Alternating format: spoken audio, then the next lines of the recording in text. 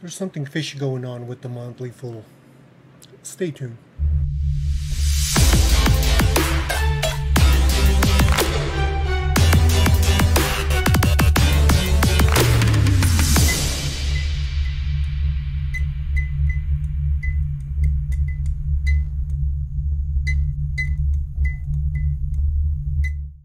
What's going on YouTube? It's your boy G-Stat. Today's episode we're going to talk about my standing, where I stand with SNDL and RYCEY. So a little update for you. Um, back in December, way before December, I bought into SNDL at about 60 cents per share. And I bought a bunch of thousand shares of them and um, also some calls.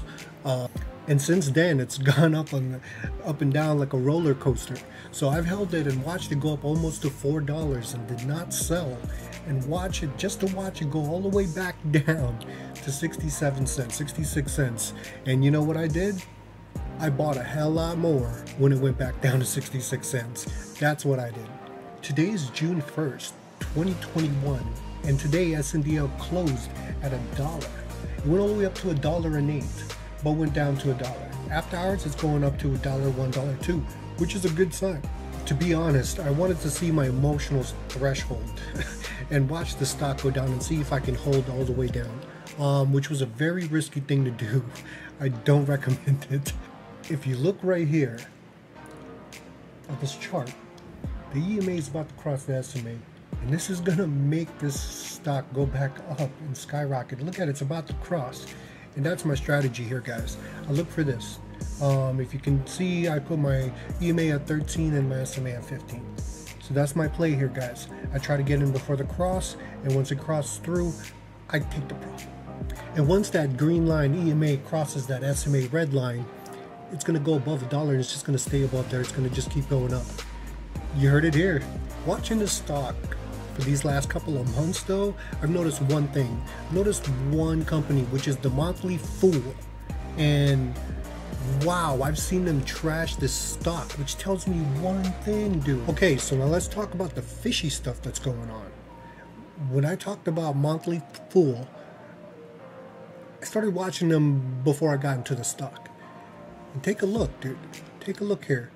All the all the articles that are released most of them, 90%, 99.9% of them, are from Motley Fool. And they're totally downing SNDL. Take a look at this. Take a look at this. Look, why Sundial Growers stock is bolting higher today? All right, sounds like a good article, right? Let's click on it. Let's like, oh, Motley Fool's finally saying something. Continue reading. All right, let's let's take a look. If you read below down here, you see why. Should you invest? Now what? You see what I'm saying? Like they, they, they put us something good about what the stock is doing and then and then they talk smack and say, do not invest in the stock. No, really guys, if you don't believe me, take a look at this. Like, here's one, boom, eight hours ago. Boom, another one 11 hours ago, top 50. If you click on this, it sounds like a good thing, and then they talk about why you shouldn't invest in SNDL why Sundial Group and all these other guys search today. And then on the bottom of the thing, their last paragraph, they tell you why you should get out of it. Investor's Place. Okay, that's not Motley Fool. But look, again, another Motley Fool, another Motley Fool, another Motley Fool, another Motley Fool. Dude, so all this is just, it's kind of crazy. And it, it's kind of fishy. And it makes me think something. You got to be a damn fool to listen to these guys. I swear to God. Oh my God, they crack me up, man. Who pays these guys money for their advice? I swear. Ah, anyway, to the next stock. Enough about the fools at Motley Fool. Um, I definitely believe in this stock, and I'm gonna hold on to it. It's definitely gonna go above a dollar. It's gonna just stay up there. Um, again, I got a lot of holdings on it, and um, I also have calls. So I, I'm gonna be here for a while. Okay, now let's talk about my holdings in Rolls Royce.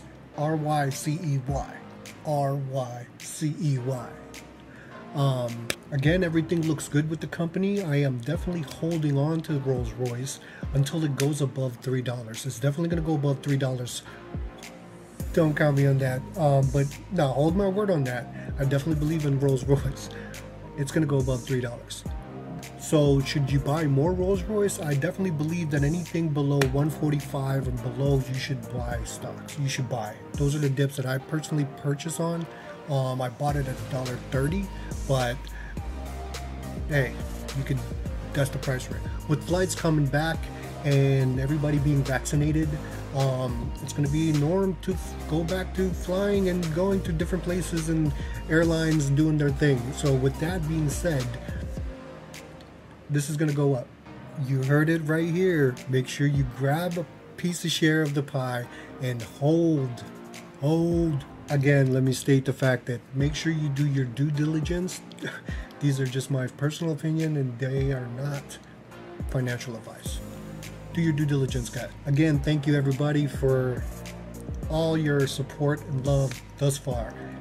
If you liked the video, make sure you comment below, like it, subscribe, do the whole nine. Let me know what you think about these fools.